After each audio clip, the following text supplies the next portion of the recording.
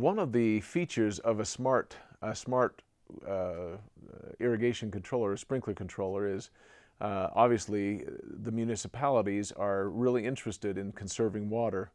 Um, it gives them the flexibility to do what they want to do. And so a lot of these municipalities are offering uh, rebates and offering incentive to, for the homeowner to get into a smart sprinkler controller.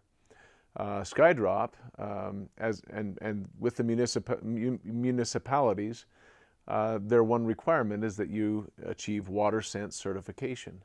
Skydrop is currently uh, in the process of being certified. The, the Skydrop controller is with WaterSense and the testing is going on right now.